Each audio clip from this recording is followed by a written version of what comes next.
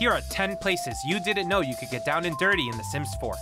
Seasons gives lovers the option to do the no pants dance within a pile of leaves. Just make sure to do a little shake after for loose leaves. Cottage living lets couples take a roll in the hay in animal sheds, and trust me, that's not the most gross thing on this list. Cats and Dogs added a lighthouse in Brindleton Bay that lets sweethearts put the wand in the Chamber of Secrets atop it. Get Famous lets beaux do the Scrooge McDuck in Moneyballs.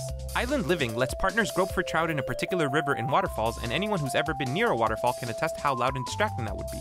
Eco Lifestyle lets darlings perform disgustingly aggressive cuddling in dumpsters. Look, I don't have all the answers, okay? High school years gave companions the ability to do a bit of How's Your Father in photo booths to really capture their most intimate moments. Not only that, but wooers can also perform adult nap time in carnival rides. It's weird how we got so many woohoo options in a high school themed pack, but whatever.